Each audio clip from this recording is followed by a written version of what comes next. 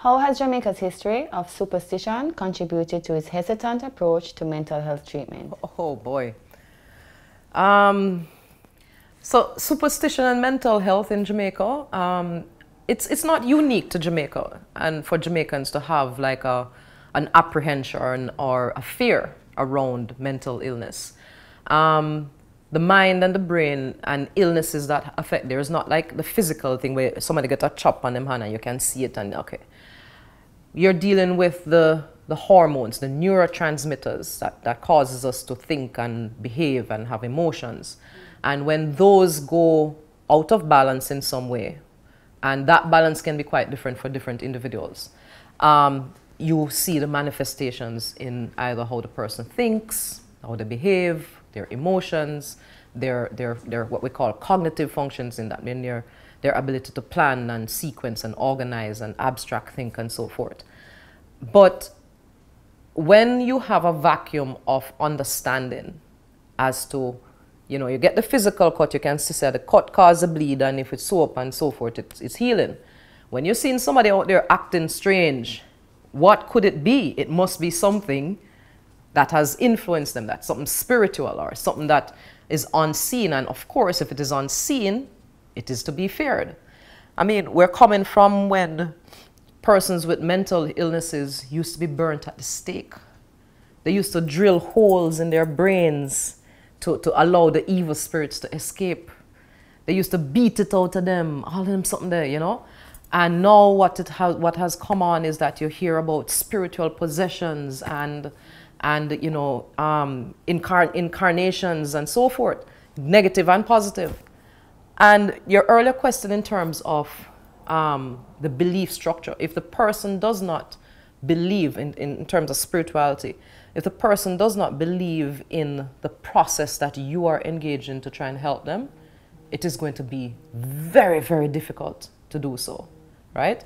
And in terms of trying to address what, what, is, what is really sad for us in psychiatry sometimes is when we actually see a client that we know and we can see the classic textbook presentation, right?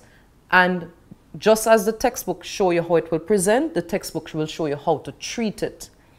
And the family will come and remove the person, will sign them out against medical advice. This is somebody who is probably likely violent and aggressive. We've had situations where a mother would remove her son and two days later, we hear that that mother is dead by the same son because she carry him go obeah man and them go give him oil and this and that and that. Not saying that, you know, I'm not going to discredit the belief structure, but at least recognize that we do have avenues that can be helpful and give that a try too, you know? So it's like mental illness is like, is like a diabetic or a hypertensive you cannot look at the person and know unless the, illness has gone that far because mental illnesses are kind of all on a spectrum. You know, we all have anxiety, we all have depression, and so some of we all have some touch of, of psychosis, you know. But it's when it becomes out of control and when it starts to imp impede or, or functioning that becomes an issue.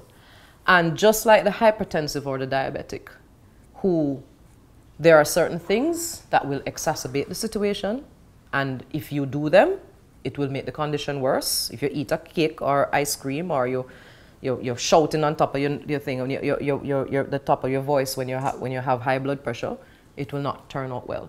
Likewise, with the, sub, with, the, with the mental illnesses.